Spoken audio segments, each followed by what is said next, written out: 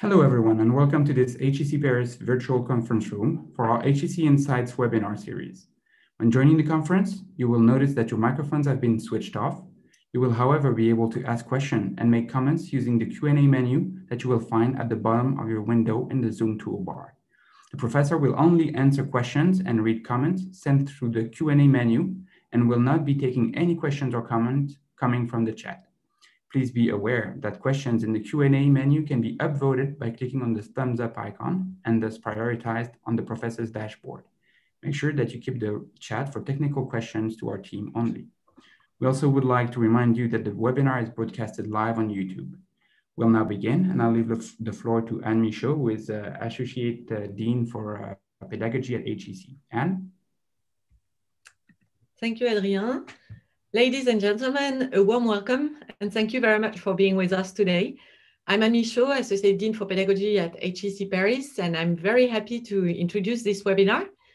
It is my greatest pleasure to welcome my colleague Georges Wernicke, Assistant Professor at HEC Paris, to talk about CEO activism, the topic of his current research. Georges' expertise is on the intersection of corporate governance with corporate social responsibility, these clearly are themes of growing interest in a diversity of sectors, likely even more during this pandemic. So Georges, thank you very much for accepting the invitation to speak in this webinar. A warm welcome to you and uh, the floor is yours. So thanks very much, Anne, for the, for the kind introduction and thanks very much everybody for being here. Uh, I know it's lunchtime for many of you, uh, for others it's the morning, for other in Asia, it might be the evening here. So I really appreciate you taking the time and talking with me about what I think is one of the most exciting topics one can do research on uh, in, in, current times. That is CEO activism. So CEO activism uh, is part of my research uh, uh program here. We have just started a larger research program on the topic, on the issue, with colleagues from HEC Paris, but also with colleagues from other universities all around the world. So what do I want to do uh, with you in the next 35 to 40 minutes? I want to cover, I want to cover four things. First, I would like to define and speak with you about what is CEO activism and what is not CEO activism, who engages in CEO activism, and what are the topics CEOs speak out about. Then I would like to cover with you and understand a little bit better what are the drivers, the antecedents of, of CEO activism. Why do some CEOs speak out? On social political issues and why do others not speak out? And the third point I would like to cover with you what we know, and that's, you know, just to foreshadow it a little bit, it's rather little. What do we know about the impact of CEO activism on important stakeholder groups such as employees, customers, or on the share price? And finally, in the fourth part, I would like to provide you with some advice on whether or not and when and how and if to engage in CEO activism. So that might be valuable to you if you're a manager and thinking about publicly weighing in on a social political issue. Or it might be valuable to you if you're a board member and you need to advise a CEO or a manager whether or not to engage in CEO activism. But let's dive right in with the first question. What is CEO activism? So CEO activism is a business leader publicly taking a personal stance on a salient social or political issue. And notice here, right, that I speak about business leaders. So it's not confined to the CEO, but it could be well other top managers or members of the board of directors or founders of companies. But those business leaders take publicly take a stance on a current issue that is heavily discussed within a society. This issue might be related to social uh, issues or to political issues. Now, let me give you a few examples of CEOs who have engaged in CEO activism. From the US, we have Rose Marcario, the CEO of Patagonia, Jamie Dimon from JP Morgan, Kenneth Frazier from Merck, Tim Cook from Apple or Howard Schultz, the former CEO of Starbucks. Now, what we can see across the world is that CEO activism is a bit more prevalent uh, as, as a phenomenon in the US, but it's currently, or it's since a few years, it's actually starting to spread around the world as well. So let me give you a few examples from other parts of the world. In Asia, James Liang has spoken out, the CEO of Ctrip, and Jack Ma, the founder of Alibaba, has been very, very vocal on some social and political issues. In Europe, uh, we have the founder of uh, Dyson, James Dyson, who's spoken out a lot on the issue of Brexit. We have the two HEC Paris alumni, uh, Francois-Henri Pinault, the CEO of Kering, and Emmanuel Faber, Danone. They have spoken out on the sustainability of the fashion industry and the food industry. We have the former CEO of the British uh, Dutch uh, conglomerate Unilever, We have the CEO of the German industrial conglomerate Siemens, Joe Kaeser, speaking out, and Moya Greene, the former CEO of Royal Mail. So what you can see here is that across a variety of industries and across a variety of topics, CEOs have spoken out on personally weighed. Now, what are the topics those CEOs have spoken about? It's a great variety here.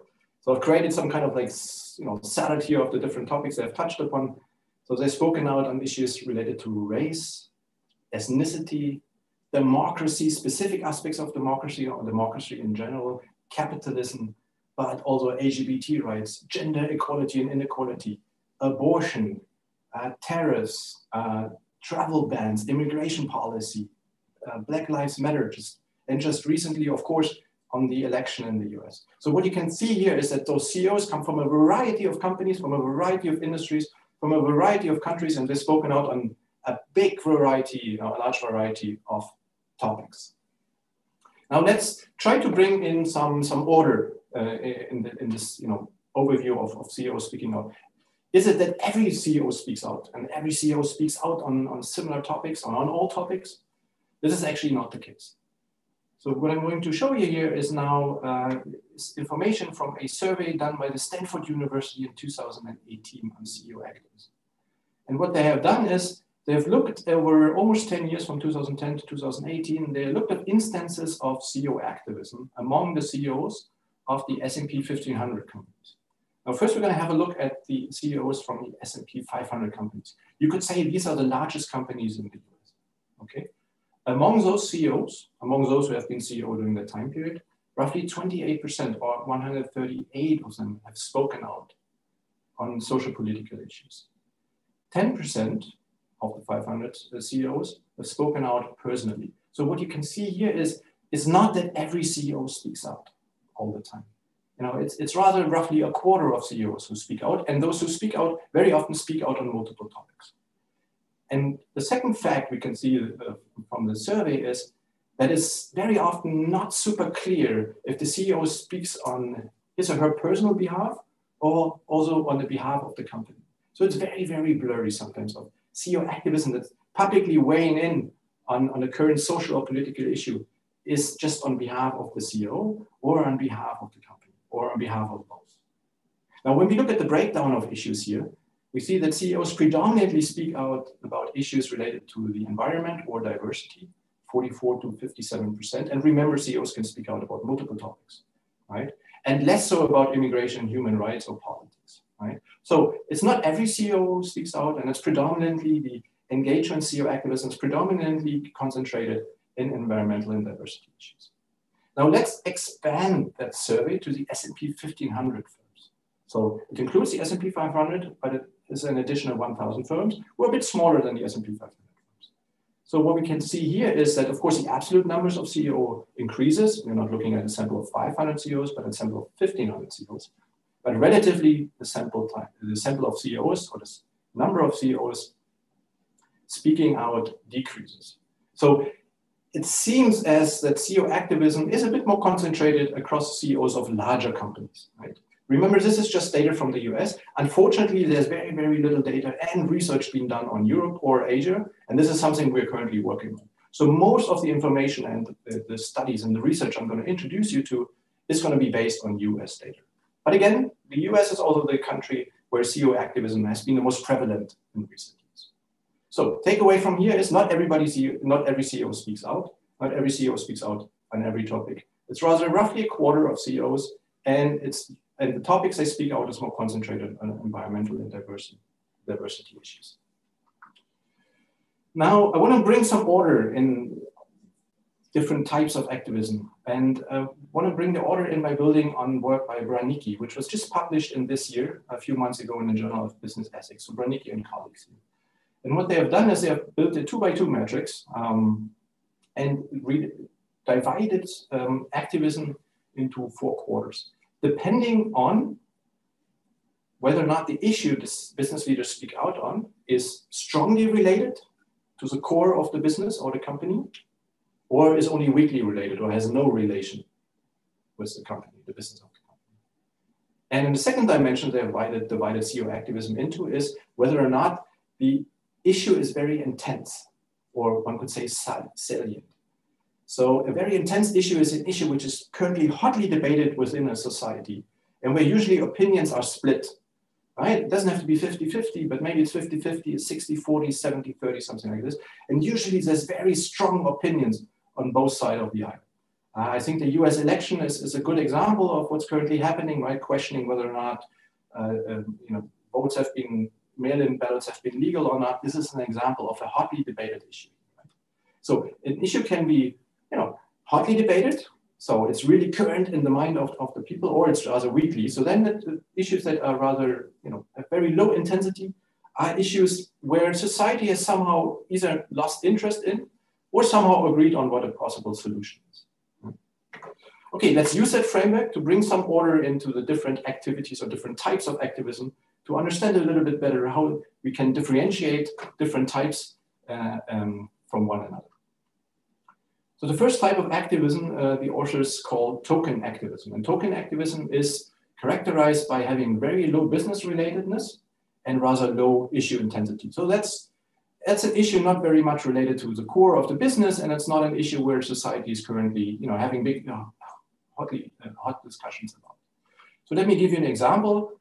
Uh, here is one of the Civic Alliance. Uh, this is a, a not-for-profit organization in the US which had called CEOs of various companies in the US to sign the following statement, namely that they call for safe access to the polls for all water, for all voters, that they recognize state and local election officials as a trusted source for certified results, and that they encourage patience as officials count every vote.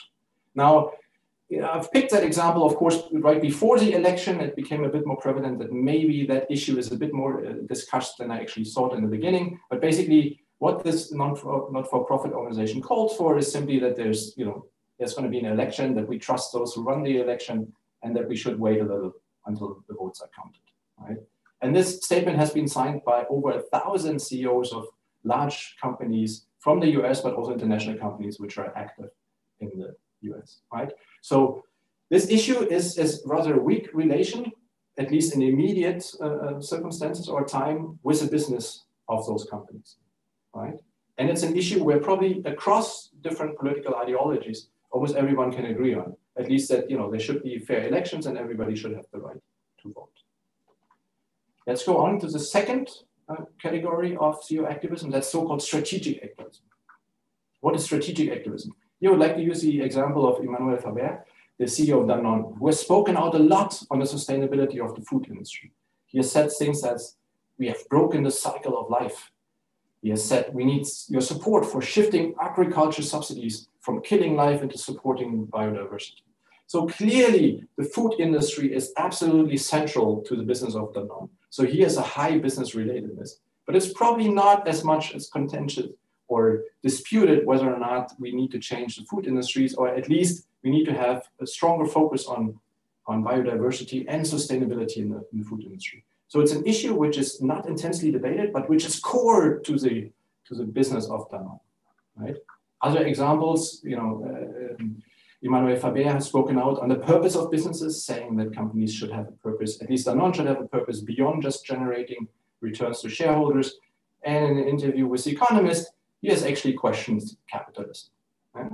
So again, it doesn't have a direct impact on, I mean, so it is not an issue which is currently hotly debated, right? But which is purpose of the company and the sustainability of the food industry, which is absolutely central, of course, to the business of Danone. Now let's move on to the third category, servant activism. Servant activism is characterized by low relevance to the core of the business, at least in the immediate future, but is characterized by high issue salience or intensity. But this is an issue which is currently hotly debated here. Let me give you an example. Uh, Tim Cook, uh, the CEO of Apple, tweeting out uh, tweets basically congratulating the passing of laws which allow same-sex couples to get married. He did the same for uh, countries, other countries, such as Australia, right? So whether or not uh, people, you know, same-sex genders can get married or not is very little, or rather weak, direct relation to the core of Apple. But it's an issue which has been heavily discussed in many countries around the world, especially in the US and here also in Australia. Uh, Tim Cook has also spoken out against uh, religious freedom laws, which in his opinion have, could be used to discriminate against LGBT. Yeah. Again, these laws have rather weak direct connection to the core business of Apple, but they're heavily debated in the US. The uh, religious freedom laws are actually with a split population with 50%, 50%, something around there, pro such laws or 50% of the population against such laws. And then finally, we have the fourth uh, sector here. This is so-called citizen uh, activism, and citizen activism is characterized by having high issue intensity and high business relevance. So this is, for example, companies from the Silicon Valley in the US speaking out against the immigration policy of the last um, of the last presidency or still presidency of, of Donald Trump here on the basis of saying, well, I mean, on the basis of saying this is relevant to their businesses because not only were most of these businesses, many of those businesses founded by immigrants, but they also rely on immigration of high skilled labor immigration uh, in their workforce. Uh, and it's an issue which has been you know, highly disputed and intensively discussed during the presidency of? Okay, a similar example here from the UK. Uh, James Dyson was spoken out uh, about the Brexit quite a lot. So Brexit clearly has a, has, a, has a relation to the core of the business of Dyson here. It has a relationship to trade relations, open trade, trade tariffs, trade barriers, but it's also an issue which has moved, uh, emotionally moved large parts of the British population, and I would, you know, I think it's fair to say also of the European population. So these are the four brackets we have, the four types of, of CEO activism, citizen activism, uh, uh, activism, strategic activism, token activism, and servant activism. Of course, there's going to be more. I mean, you know, it's not a four by four matrix is not going to do justice to the different types. And of course, the examples I've just given you don't squarely fit in one of the, the brackets, right? So there's, no, we can dispute each of the um, examples. But hopefully I've given you some grasp of what different types of activism. Now, I would like to do a little survey with you uh, and a poll here, and I would like to ask you the following question and hear your opinion on it. In general, should the CEO of large companies use their position uh, to advocate for, um, on behalf of social, environmental, or political issues that they care about personally? So in general, do you think that CEOs of large companies use their position and their potential to advocate on behalf of social, environmental, and political issues that they care about personally? Do you agree with that statement? Do you disagree? Or do you not have an opinion? For those who are following on YouTube, please note that you can't see the survey, unfortunately.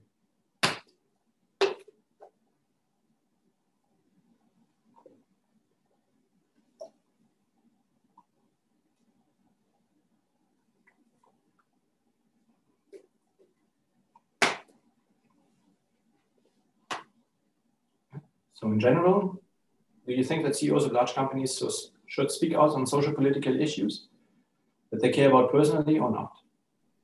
Or do you have no opinion? Uh, the 83% uh, bar, so I suggest that we end the polling and we'll share the result, okay? Absolutely. All right.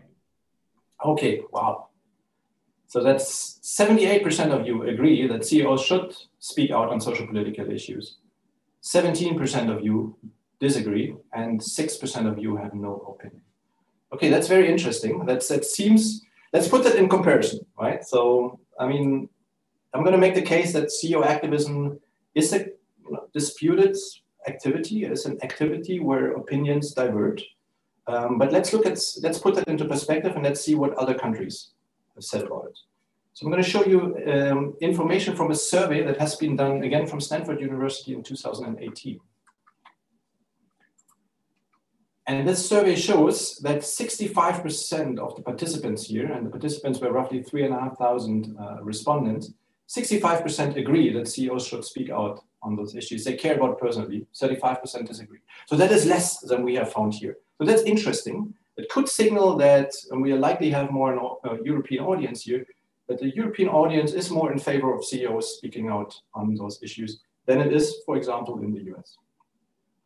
Now, also what is interesting here is if you split the opinion among the political affiliation, and again, we are in the political spectrum of the US. So Democrats are way more in favor of CEOs speaking out than they are Republicans. Similar effects when we look at different age ranges. So we see the younger the respondents are, so especially millennials, millennials are those who are younger than 38 years, are predominantly two thirds, more than two thirds of them are in favor of CEO activism. Whereas uh, among the uh, generation X and the baby boomers, it's 63 to 46%. So the older the respondents are, the less likely they are favoring CEO activism on topics the CEO care about personally. Right? Now, let's look at the opinions on CEO activism where the CEO speaks on behalf of the business or on behalf of employees, for example.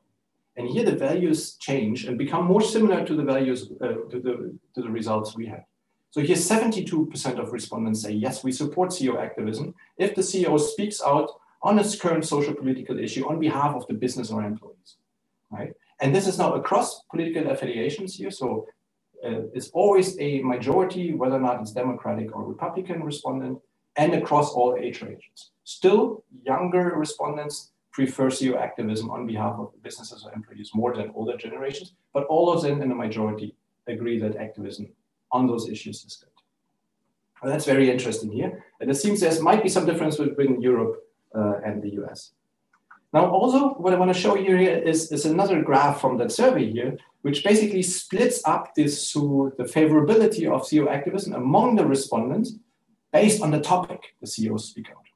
So the, the red dots you see here is the net favorability. So it's basically the number of respondents to favor the CEO speak out on the issue minus the number of respondents who do not favor the CEO to speak out on an issue.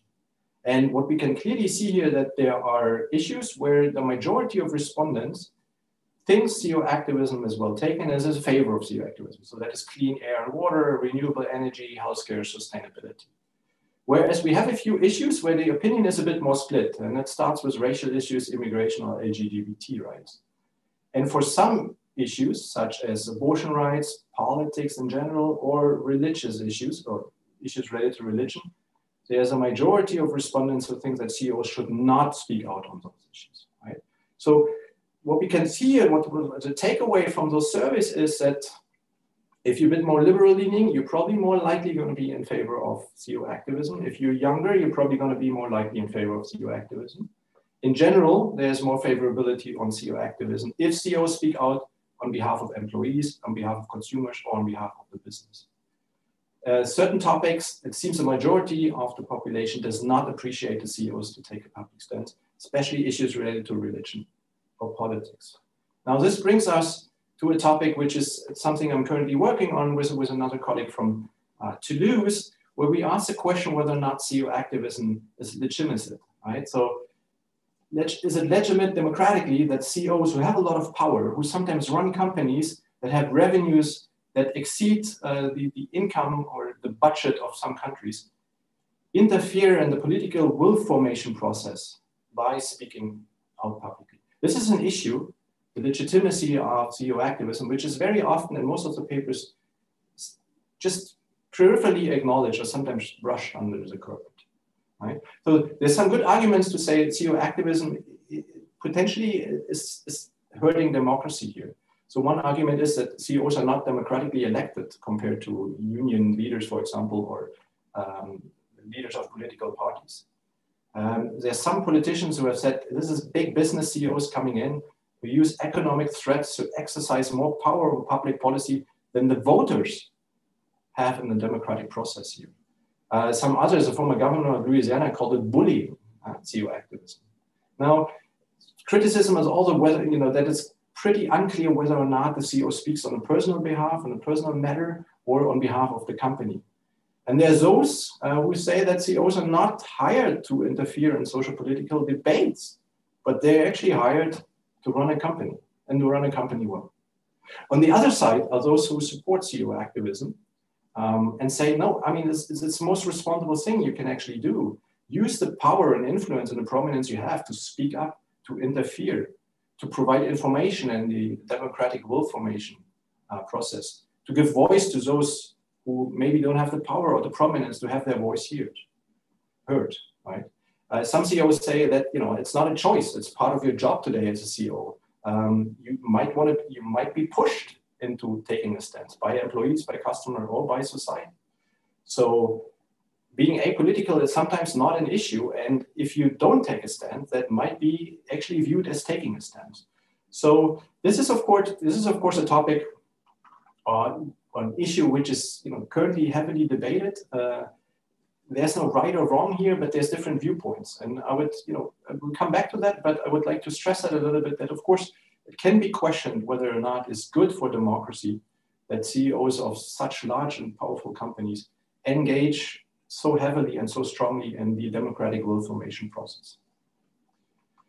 Okay, let me jump to the drivers, to the second part of this presentation here. Let's talk about the drivers of CEO activism. And I have to say, quite frankly, we don't know that much about it, at least empirically not. We have some speculation what, what drives CEOs to speak out. Right? So the literature here, and this is a lot of work being done currently around the world here by different teams, um, suggests different drivers of CEO activism.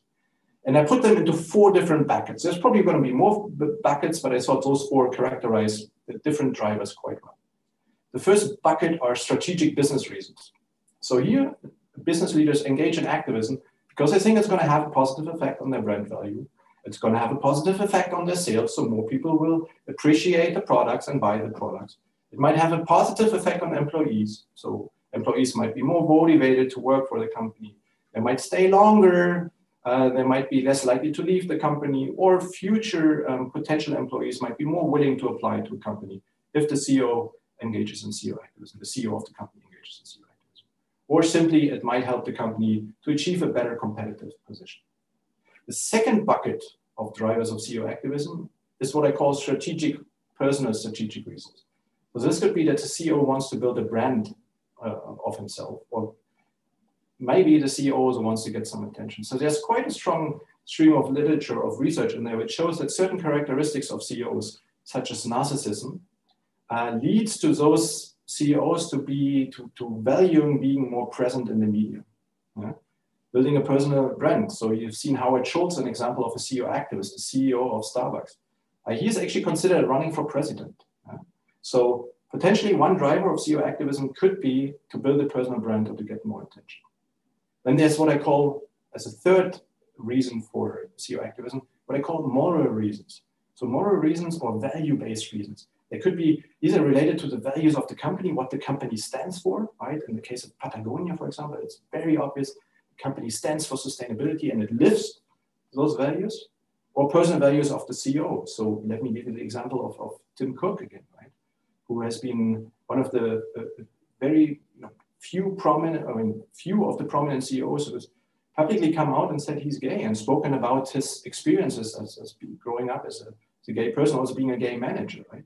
So it could be that that personal values of the CEO or values of the company are um, are touched upon by the, the issue the CEO speak out. Or moral reason could be that the CEO speaks out on behalf of other stakeholders, like on behalf of the employees. The fourth and final bracket I want to put in the categorize the drivers of CEO activism into is pressure. Right? It could be that employees of a company push the company or the CEO to take a stance.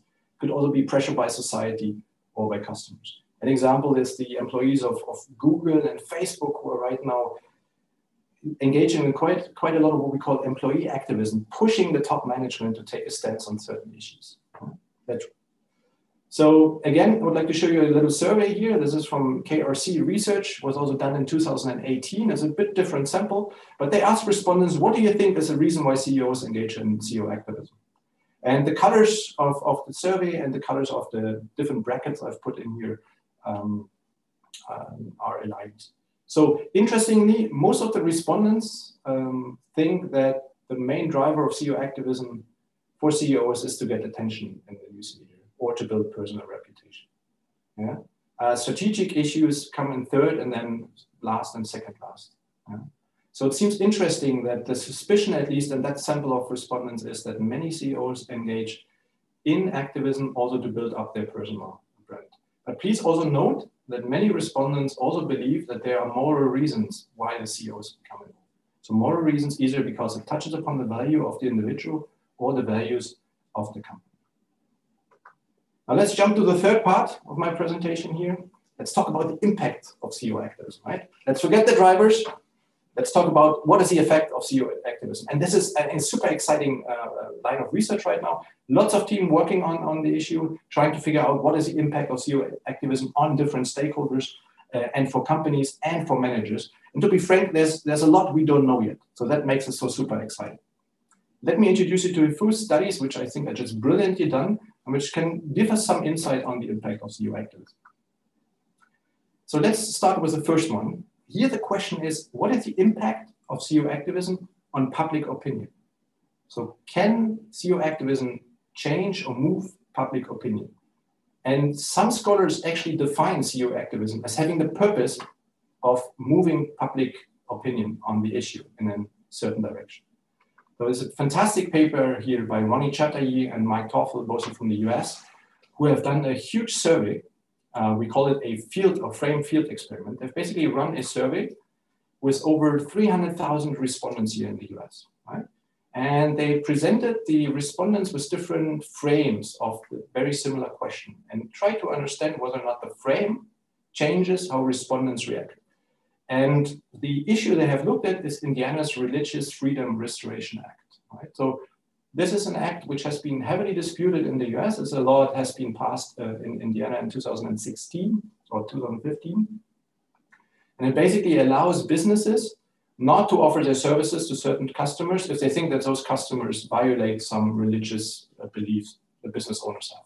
But the prime example, even though it wasn't in Indiana, is a gay couple who wanted to have a, a wedding cake for their wedding, uh, and the bakery refused to bake the wedding cake for them based on their religion. Okay, so this is basically just the issue was heavily debated in the US. They use that issue to see whether or not CEO activism can have an, can move public opinion on an, on an issue. Here, the issue of Indiana's Religious Freedom Restoration Act. So they gave them they gave respondents three framings. Okay, they simply asked, "Do you support this law?" No other information. Do you support the law? Yes or no, or no opinion. Uh, then they gave them what we call treatment.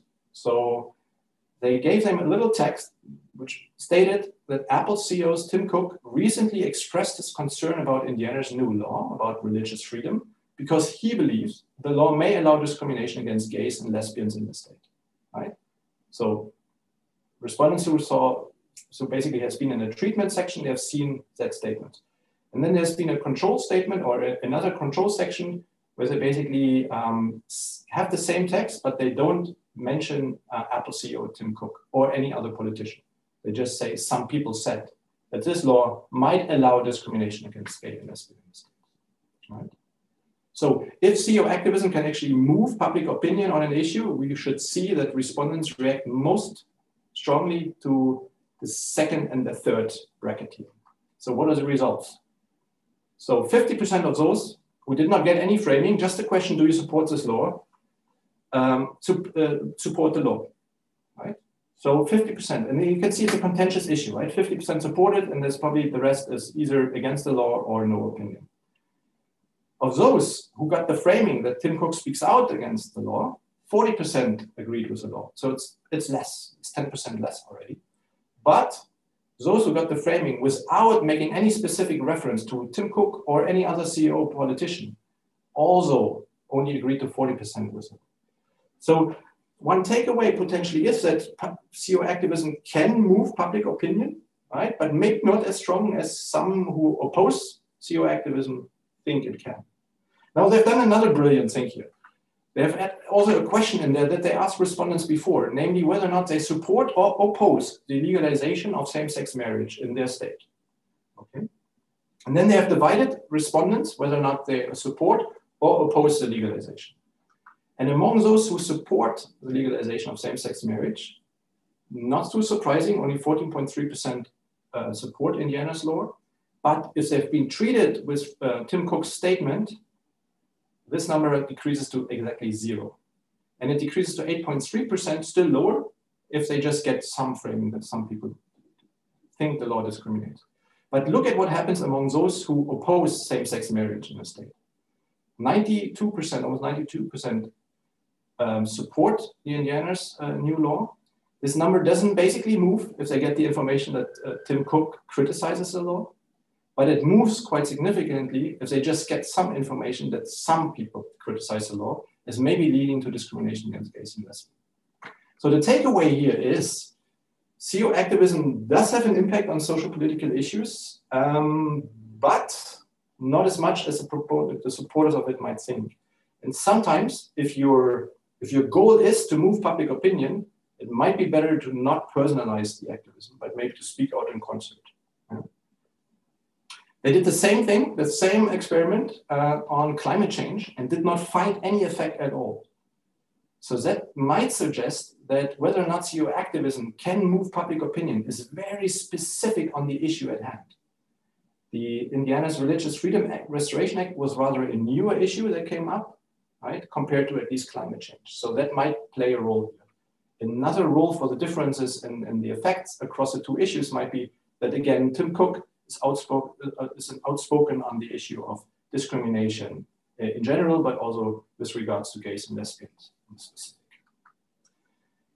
Now, they've used the same experiment now, the authors here, to look at what is the effect on customers, and they looked at the intention to buy. So now we're going to switch the focus from can you move public opinion on an issue to does it have an effect on customers? Do customers buy your product, are more likely to buy your product um, when you engage in CEO activism or not? More or less same survey, slightly different questions. Simple question, are you going to likely buy Apple products in the future? Um, this is the baseline, and then they've asked, okay, and then they've put um, um a statement in here basically saying that Tim Cook opposes the law in Indiana. And the third treatment or the second treatment here is basically that they've given, and that's a difference to the other um, um, experiment here, that they've asked, uh, they've said to participants that Tim Cook recently spoke about his management philosophy as being focused on people's strategy and execution. So no reference to the uh, to Indiana's law. Now, what is the effect on the activism on the intention to buy Apple products here? Uh, we see there's not much difference if we just look at the whole sample. Yeah? Um, it's a slightly higher for those who were, faced with Cook's discrimination uh, framing here, but the results are statistically almost indistinguishable. But what happens if we split it up again among those who oppose or support legalization of same-sex marriage in the state? And here we see that among those who support and see the difference to those who oppose same-sex marriage right? So what is super interesting to see here is that among the respondents to actually oppose same-sex marriage, Tim Cook's statements made them less likely to buy Apple products. The difference is not going to be uh, statistically significant, but they're going to be more likely, and this difference is statistically significant, if they've just heard about Tim Cook's approach to management, right? So this is extremely interesting here. It suggests, right, that activism can affect customer purchase decisions right? Um, but it positively affects only customer purchase intention among those who agree with the CEO statement. And it potentially negatively affects it. Again, you know, we have to be careful here. The differences are not always statistically significant among those who disagree. And please remember, this is just the intention to purchase, right? It's not the actual um, purchasing decision. Okay, let's quickly move on to the impact of CEO activism on employees. Another brilliant paper published this year in the Journal of Manage, uh, in, uh, Management Science by Vanessa Burbano from Columbia University. And she wanted to know what is the impact of CEO activism on employees, right? And again, it has been heavily suggested that employees are super important here when it comes to CEO activism. Now, what she has done is she has recruited workers in Upwork to do a little translation job. And she has run two experiments on those workers. In the first experiment, she simply asked them to do a translation and she has given them a survey to find their view on certain social political issues. And then she has picked an issue which where the opinion was split 50-50 among the workers. And that was gender neutral bathrooms. So female and male and so all people could use the same bathroom. That's basically what it is. Right? And then a month later, she contacted the same workers again, but through another company. So the workers didn't know it's going to be the same company. And she asked them again, can you please do a translation job? And after they've done the translation job, she asked the workers, would you be willing to do a dumb extra work? And so the question here is, are employees motivated to work more, depending on what their stance on the issue of gender neutral bathrooms is, and depending on what the stance of the company is towards gender neutral bathrooms. So workers can either support the issue, can be neutral, or can oppose uh, um, gender neutral browser. And same for companies. They can either support the issue, oppose the issue, um, or have no opinion. Or no opinion is basically they don't speak about it. Now, among the workers who are neutral, right, we see that um, the workers, so if the workers are neutral, they don't have really an opinion, they're split between the two. Uh, but the company supports the issues. Workers are willing to do to translate 348 more words. This is roughly similar to the amount of words workers translate if they have not been uh, not faced any statement about gender neutral bathroom, just about that the company wants to change its name. Right? But we see a we see a decrease among those who actually uh, oppose the issue. So who are neutral, but the company opposes the issue. Now this is basically just, you know, see it as a baseline. What becomes more interesting is to see in the brackets of workers opposing the issue and workers supporting the issue. So here what we see, if you have a, a look at the, the, left bar here, the blue bar, this is the workers oppose the issue, so they don't want gender neutral bathrooms, but the company supports the issue. And what we see is a heavy decrease in the motivation to translate more words. We see a similar effect when the workers support the issue, but the company um, opposes the issue. Again, we see that only 103 additional words are translated. Uh, so a takeaway from that experiment here, and it's beautifully done, is basically there's an asymmetric effect on worker motivation of CEO activism. Those who agree with the company on, on, the, on, the, on a stance on an issue don't work more, but those who disagree with the stance of the company work less. Right? So it doesn't seem to be as employees are unilaterally more motivated uh, or that the, the, effect of CEO activism on employees is unilaterally positive. We have to be very, very careful. At least that experiment suggests that the effect could be rather negative on those who disagree with the company and not much of an effect for those workers who agree with the company. Now, of course, the, the magic question is, all, we know all these things about public opinion now. We know some information about uh, whether or not it affects customers' intention to buy a product. We have now some information about what the effect on employees but what's the overall effect on stock prices? So how does the stock market evaluate companies who CEO engages in CEO activism?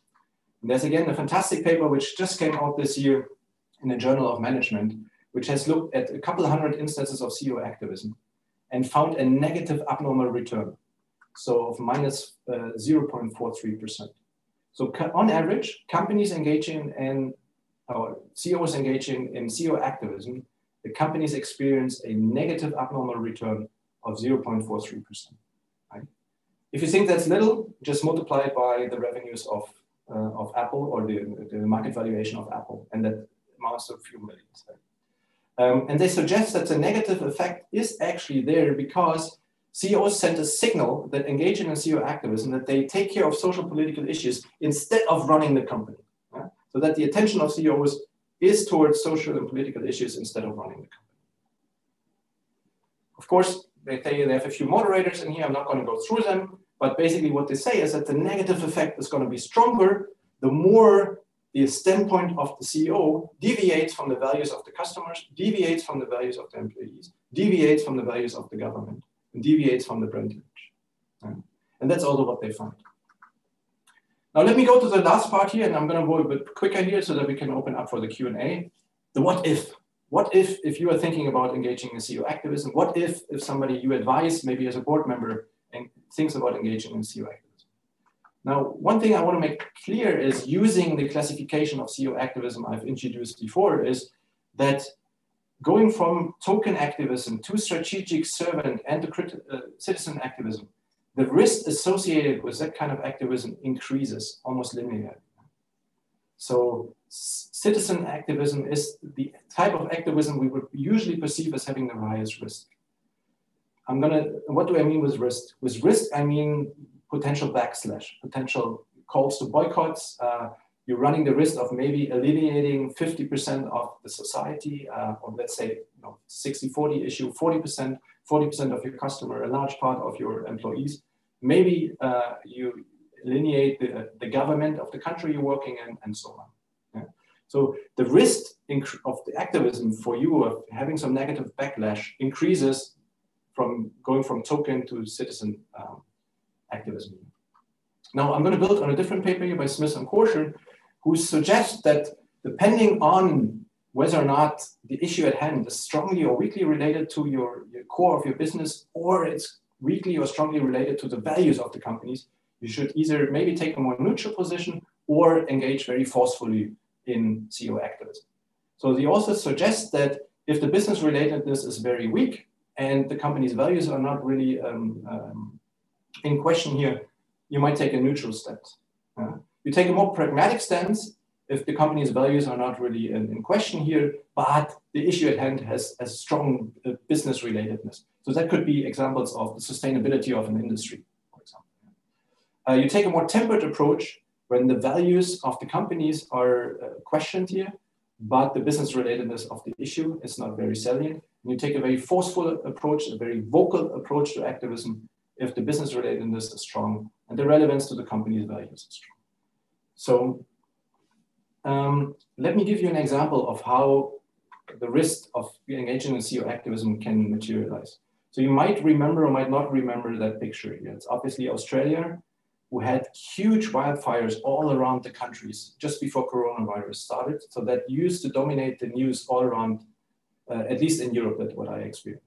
Right now, during those wildfires, um, the speaker or head, you could say, Luisa Neubauer of the Friday for Future movement in Germany, started attacking uh, Joe Kaeser, the CEO of Siemens, and Siemens, calling for strikes and boycotts uh, in front of the factories of Siemens and boycotts of Siemens products, because they found out that Siemens is actually involved in building a coal mine somewhere in Australia, so leading to more deforestation in some areas. In fact, Siemens has been involved, but rather overall, you know, to a small extent they actually just had a contract to provide the signal lights for the train track from the coal mine to the coast. But given that Joe Kaeser was very vocal before, he's spoken out on issues of sustainability, corporate social responsibility, immigration, racism.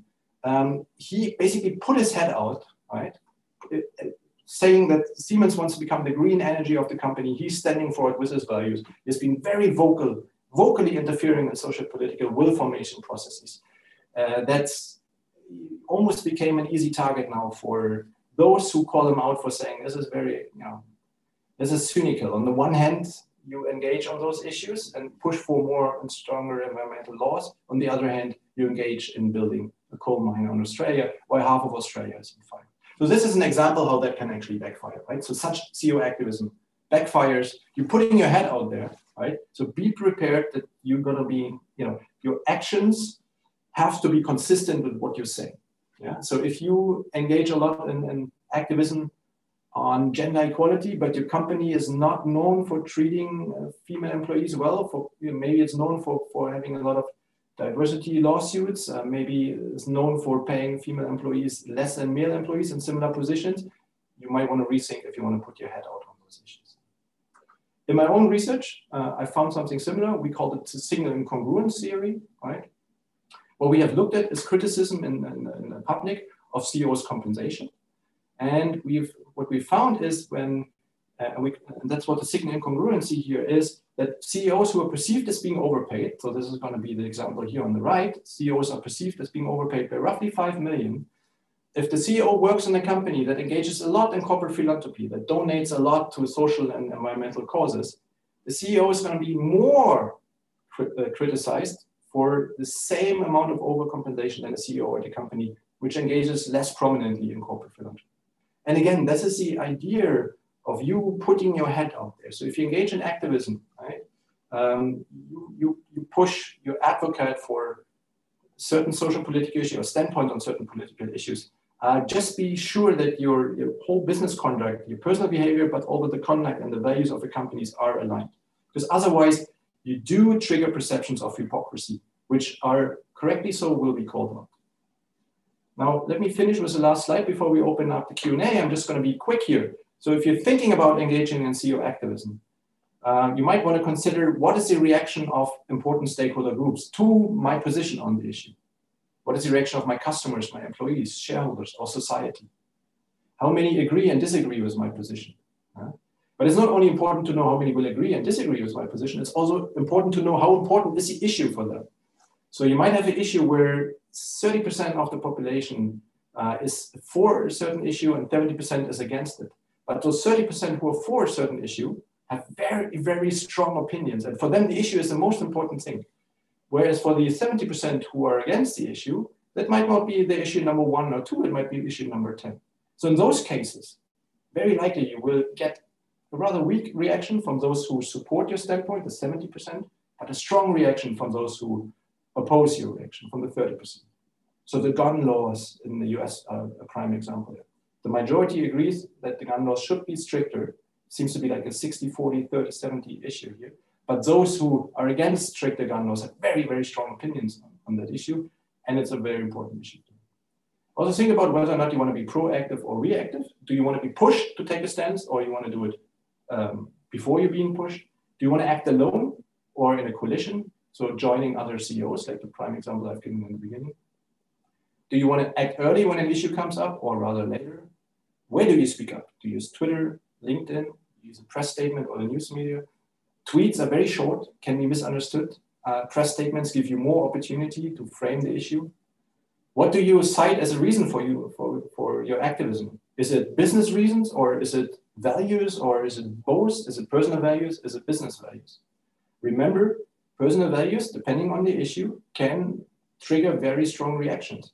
In those cases, you might want to cite business reasons, saying, no, stronger immigration laws affect uh, the employees. I'm recruiting predominantly from uh, well-skilled workers here, so that's affecting my business scores. Um, think about, is the issue at hand, are the values of your company at stake? Are your company's values at stake? If they are at stake, you might want to speak out. If they're not at stake, you might want to reconsider. Remember that take, not taking an option, uh, not speaking out or not speaking out. Speaking out or not speaking out might sometimes not be an, uh, an option. Sometimes you might be pushed to speak out. And not speaking out might also be seen as taking a stance on an issue. And finally, please you know, be respectful to the democratic will formation process. If you engage in CEO activism, you're probably likely speaking out on behalf of companies which are very powerful, very prominent, but potentially have the power to push uh, opinions in a certain direction. So be respectful of the democratic will formation process and of those who are democratically elected to speak on behalf of others.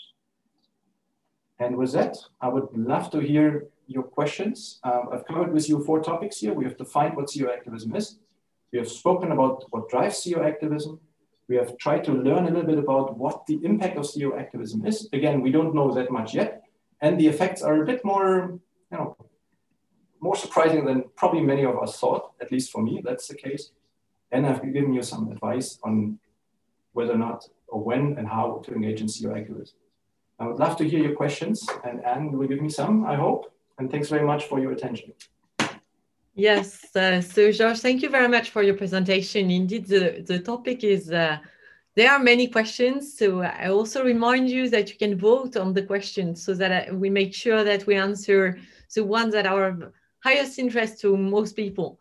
Um, maybe there's one to start with. Uh, there are a couple of questions that have to do with the really definition of this CEO activism. I know you started with that, but nevertheless, um, some people are asking, so is it about being able to uh, give interviews about it, posting on social media, uh, speaking up? Uh, is it some lobbying? So what is it exactly? And yeah. what is different today and what existed before? Yeah, so I mean, that's a great question, right? So is it just lobbying? Uh, and I would say, I mean, of course it's related, um, um, but it's not lobbying because CEO activism is very open, very prominent, uh, it's very vocal. So it's a CEO taking a public stance on a salient social political issue. Lobbying very often happens behind closed doors. In fact, companies very often don't want that they lobby for on, on a certain issue. Yeah? So I would say it's very different from from uh, from lobbying. Um, and it's also, I think you, you said something about if it's related to corporate social responsibility. I would say it's related, but it's not corporate social responsibility corporate social responsibility is, is predominant often on issues where there's more an agreement among society, whereas CEO activism is really on an issue that is currently hotly debated in a country. Uh, it's super current and where opinion is very often split. So you could take the example of the, the I mean, I know it's a, it's a bit we take it too often, but of the last election in the US, whether or not Donald Trump now accept uh, accept the that he has lost potentially lost uh, the, the presidency here or not, right? So now it's, it's a huge push uh, of CEOs to take a stance and to say, okay, you know, let's accept uh, the results of the election or let's not accept the results of the election. So this is different from CSR, right? This is something that is hotly debated right now, where the opinions are, you know, really split 40, 60, 50, 50, and there's very strong arguments being made on both sides. Often not super rational arguments, right? Very often it's certain norms, ethics, viewpoints, religious viewpoints, political viewpoints are being attached. There's low information content in those discussions here. So I would argue it's different from CSR. And one character which really differentiates it from lobbying and CSR is that, that CEO activism is the act of communication, is speaking out. It might be followed by some action, but the act itself is, is not usually associated with some investment like CSR would be in most cases. So, and I hope that answers the question, but. yes, I, am sure it does. Um, there are a couple of other questions that have to do with the risk of being uh, an activist as a CEO. And uh, basically, there are questions that ask whether uh, it's been measured like how much can you lose customers versus how much can you attract customers. Um, do you have examples of a CEO being fired for their activism? And um, is the risk linked to specific issues? So there's the ones that ask, are there specific issues of activism that are more at risk for CEOs? Yeah. Uh, so it's very tough to, to, to associate, you know, the firing of a CEO to a certain reason. So usually it's, it's multiple things and usually CEO is not fired, but, you know, takes care of family businesses or something like this. Um, but I, it's, it's, definitely more risky on the type you speak out upon. So again, I would use that, that, that two by two matrix I've shown you uh, there, it becomes way more riskier if the relation to your business is lower and but the, the issue at stake is very hotly debated here. Yeah?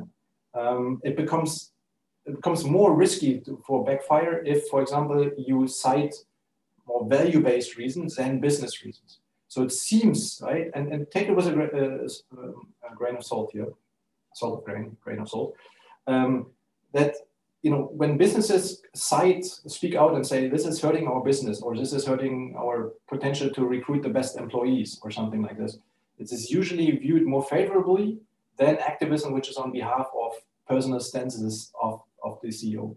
So um, I would, you know, and, and remember the, the surveys I've shown you in the beginning, where the majority, or at least larger part of the survey respondents were negatively towards CEO activism the CEO activism was not related to the business, but on behalf of personal values of the CEO.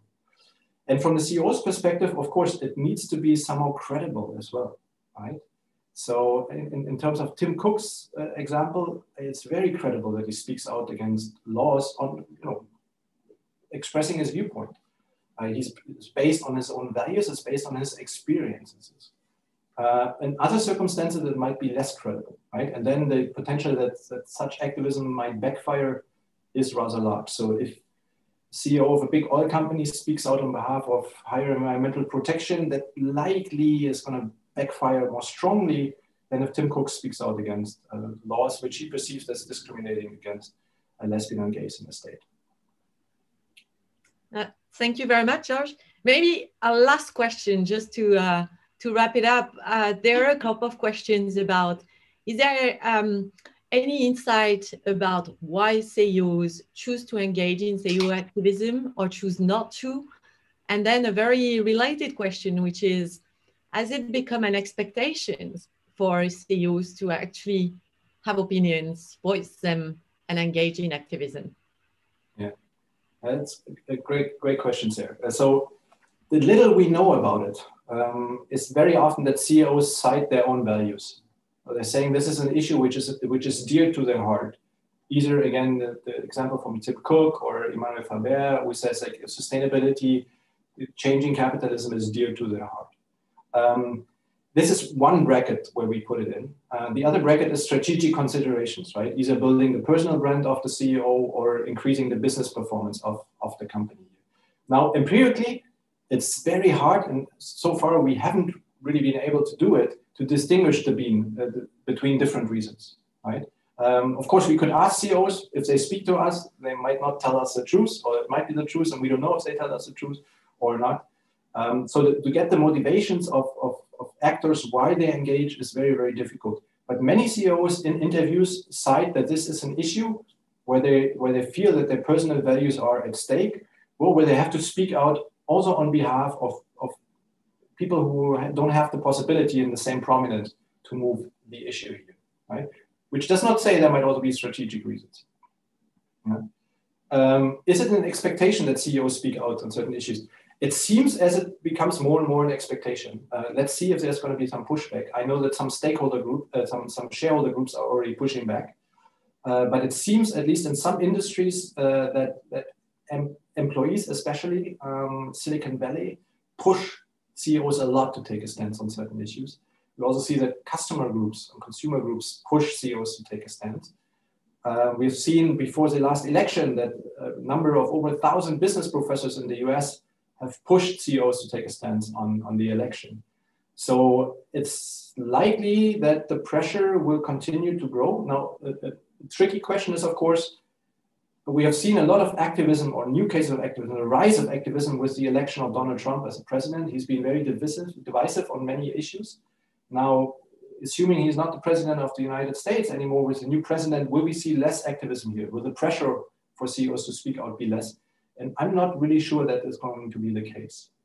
So the New York Times just ran an article on it two days ago. The prediction is likely since uh, it's going to be a Democratic president, Joe Biden, and it's going to be a likely Republican controlled Senate, that CEOs will continue to speak out, uh, engage in CEO activism, but likely maybe more on what we call the traditional issues here. So issues re related more to the core of their business, sustainability, transforming an industry, and less so on issues which have rather little relation to their business, but have high you know, contentiousness as an issue in society.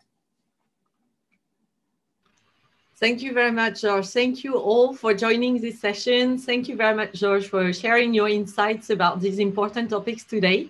And uh, well, I wish you all a good day or evening, wherever you are, and uh, hope to see you soon for our other webinars. Thank you very much. Goodbye. Thank you very much.